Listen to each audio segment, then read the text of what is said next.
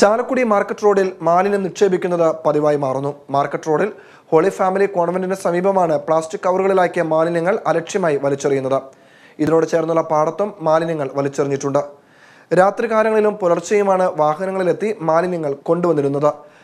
നഗരസഭാ അധികൃതരെ അറിയിച്ചിട്ടും നടപടികളാകുന്നില്ലെന്നാണ് പ്രദേശവാസികളുടെ ആക്ഷേപം.